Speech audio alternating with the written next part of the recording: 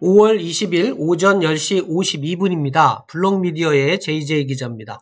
오전에 말씀드린 것처럼 오후에 그 buy the big dip 관련해서 조금 자세한 on-chain 데이터를 가지고 말씀을 드릴 텐데요. 저의 디지털 자산 시장에 대한 생각은 여전히 중립이지만 어, 이런 급박한 급락 상황에서는 과도한 급락인 경우에는 사보자 buy the big dip 이런 말씀을 드리겠습니다.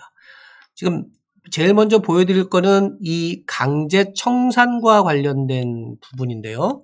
보시는 것처럼 이 어저께 가격이 급락을 하면서 롱도 그렇고 숏도 그렇고 강제 청산이 많이 이루어졌습니다. 이 포지션이 강제 청산됐다는 얘기는 어, 어떻게 보면 이제 청소가 한번 싹 된 거니까 그게 이제 반등 모멘텀으로 연결이 될 수가 있는 거거든요. 이런 면은 긍정적인 요소가 되겠습니다. 그리고 어, 반면 그 암호화폐 거래소로 유입되는 BTC의 물량은 지금 보시는 것처럼 평균보다 높습니다. 이렇게 계속 뭔가가 들어오고 있다는 얘기는 어, 좋지 않은 신호죠. 매물화될 가능성이 있는 것이기 때문에 그래서 아까 보여드린 그 반등의 신호와 추가 하락의 신호가 막 엇갈려서 나오고 있으니까 유심히 보셔야 되는 그런 상황인 거죠. 다음 차트는 그 perpetual 하시는 쪽에서 나오는 이 funding fee 부분인데요. 얘네가 일시적으로 이렇게 마이너스가 될 정도로 아까 강제 청산이 될 정도였으니까요. 그런 상태여서 long 포지션이 지금 유리한 국면이긴 합니다. 어, funding fee가 이렇게 많이 내려온 상태에서 진입하는 게 유리하니까요. 어, 이런 것들은 역시 이제 플러스 신호가 될 수 있는데 에, 다른 어떤 거하고 같이 살펴보셔야 되는 부분인 거죠. 그 다음 차트는 미결제 약정 부분입니다. 미결제 약정이 이제 뚝 이렇게 떨어져 내려와 있죠. 이게 연초 수준까지도 지금 내려와 있는 상태라서 이건 역시 시장의 어떤 그 청소가 한번 됐다라고 볼 수 있는 거고 여기서 이제 롱 포지션에 들어가면은 좀 유리한 국면에 포지션을 잡을 수가 있는 거죠. 그 다음은 어, 이 부분부터는 조금 주의하셔야 될 얘기들을 제가 드릴 건데요.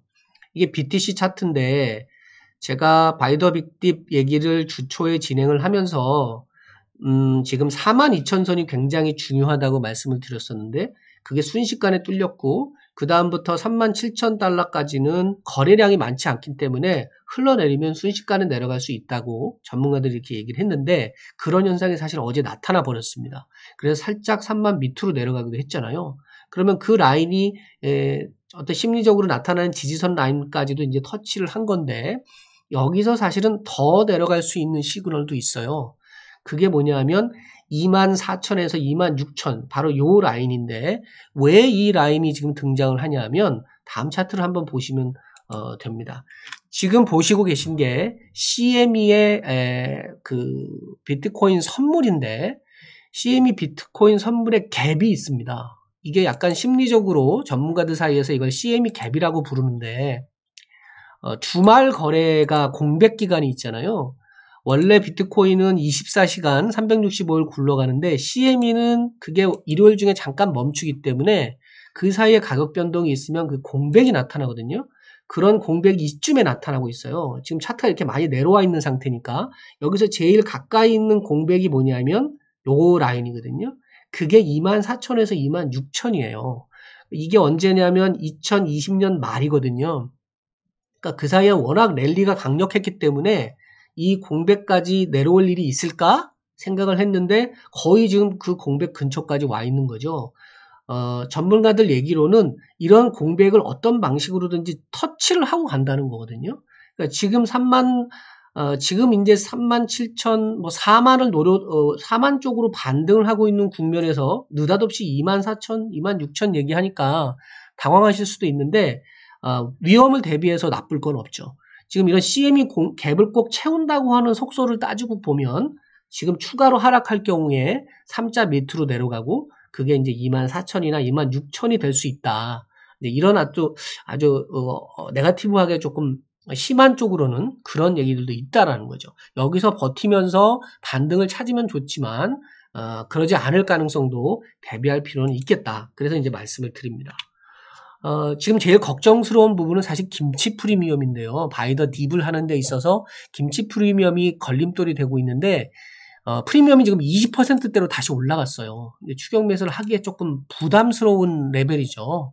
단기적으로 지금 20%를 더 비싸게 사야 될 것이냐 이제 고민이 되는 건데 예, 이런 식으로 김치 프리미엄이 올라가는 거는 뭐 우리나라 외환 정책하고 관련이 돼 있는 거라서 어떻게 물리적으로 할 수가 없죠. 그러니까 순간적으로 김치 프리미엄이 좀 떨어질 때를 이용해서 바이더 딥 전략을 가져가는 게 맞을 것 같고 어, 또 비트코인 도미넌스를 보시면 어제 폭락을 하면서 이렇게 많이 올라왔거든요. 순간적으로.